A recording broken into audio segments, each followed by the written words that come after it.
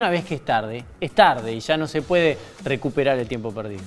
Totalmente, muy bien, gracias Willy. Me voy al encuentro de Cecilia Pirolo, Cecilia Steffi Pirolo, para hablar de sueño. De trastornos del sueño. De trastornos del sueño, algo que nos está costando.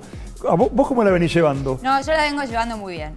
Bien, yo despertando varias veces alternando, no me pongas eso que me quedo dormido, alternando. hay días que duermo totalmente de corrido y hay veces que me despierto en la mitad de la noche, ¿qué tengo que hacer hoy? Y ahí caigo en donde estoy. ¿Pero te cuesta más conciliar el sueño o tenés despertares una vez que ya te lograste dormir? No, duermo rápidamente, después tengo despertares a la noche. Bueno, eso suele ocurrir cuando uno tiene preocupaciones y en estos casos, en donde estamos viviendo una cuarentena y un encierro obligatorio, eh, lo que se suma a la falta de actividad física, a la falta de una rutina, a la falta de eh, el trabajo que veníamos acostumbrados a tener muchos y que en algunos casos se ve disminuido, es que a esto se le agregan los miedos, que son lógicos, la sobreinformación, la incertidumbre de lo que va a pasar, de cuándo esto va a terminar, sumado a que mucha gente que ya venía con problemas económicos se los tiene agudizados porque hubo realmente una baja en cuanto a la producción y al trabajo que cada uno de nosotros puede generar. Entonces, todo esto sumado a que muchas veces hemos disminuido la cantidad de actividad física, no solamente porque dejamos de hacer lo que habitualmente hacíamos la gente que entrenábamos, sino también porque muchas veces gente que se movilizaba incluso a sus trabajos de manera que la requería un esfuerzo físico, ya sea por caminar o por ir de alguna manera que le generaba también el, hacer un gasto mm, energético, ahora no lo está haciendo y se debe quedar en la casa. Entonces, hay muchas causas que contribuyen a que gente que ya venía con determinados problemas de insomnio o de incluso falta de, posibilidad de conciliar el sueño, esto se lo vea agravado y que ahora sienta que le cuesta más que antes poderse dormir y poder descansar, con lo importante que esto es, porque es uno de los pilares para generar inmunidad, que es lo que estamos en este momento necesitando, ¿no es cierto? no solamente el alimentarnos bien, sino el también poder descansar lo suficiente para que esos nutrientes nos sirvan y poder tener, eh, que el cuerpo pueda reparar todo lo que durante el día gastó y generó y se preocupó. Y esa sensación de que te despertás y estás cansado, como a mí me pasa, como que no descansé lo suficiente. ¿Y qué recomendás?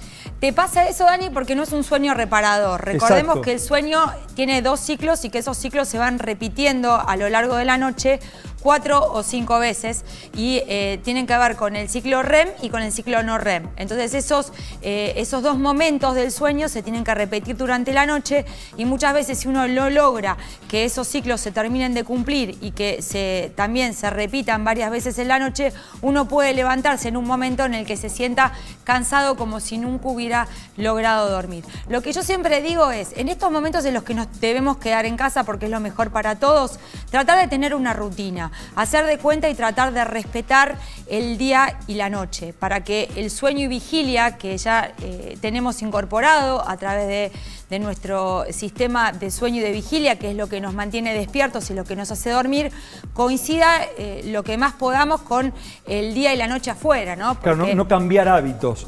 Por ejemplo, hay, hay, gente que toma café, viste, generalmente el café te despierta, no empezar a tomar, no es momento para la noche empezar a tomar café, pero quizás alguna infusión Mira, eh, lo mejor sería considerarnos todos como si tuviéramos todos problemas de insomnio, entonces tratar de hacer las rutinas de la gente que no las tiene.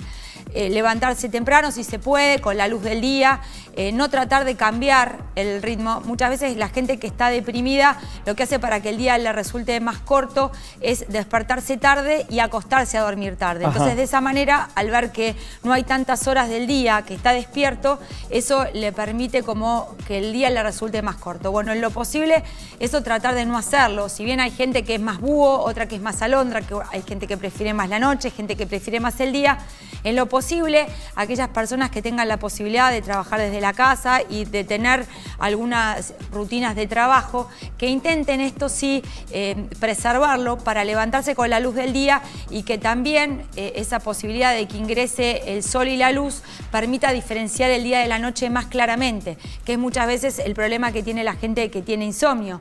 Después no solamente tratar de trabajar la cabeza, sino también tratar de movernos un poco, de caminar ya sea dentro de la casa, de hacer alguna rutina de ejercicio. por más mínima que sea. Ayer recibí, hoy a la mañana recibí un, eh, vía Instagram un vecino suyo que dice que a las 5 de la mañana le escuchó relatando un gol. ¿Puede ser? No, bueno, eso es otra cosa.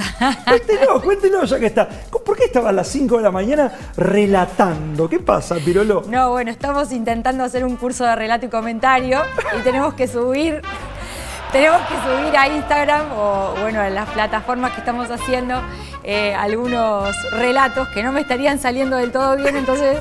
¿Pero empezaste a estudiar por la cuarentena o ya tenías pensado? No, no, no, era un curso que lo tenía planeado hacer y que empezaba el primer sábado de marzo y que justo nos, nos agarró con la cuarentena. Este entonces... Este vecino me decía que, dice, trata de decir jugadores de nombre de gimnasia, pero no le salen, ¿puede ser? Sí, sí, puede ser. Sobre todo el relato del... ¿A usted le quita el sueño relatar? No, porque a mí creo que me saldría más fácil comentar, nunca relaté, entonces... Eh, bueno, está haciendo un curso de relatora. No, no, relato y comentario, pero bueno, hay que aprobar las dos cosas, no solamente el comentario, hay que aprobar el relato también, entonces estoy haciendo el esfuerzo por intentar relatar y no me estaría saliendo. Bueno, hágalo más bajito porque sus vecinos sí quieren...